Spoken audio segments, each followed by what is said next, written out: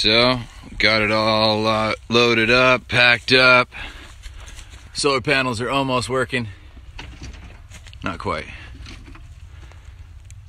Tent trailer, the Rockwood, BMX, and then we're leaving behind one. It's a broken one. So, saying goodbye to the cabin, to the trailer.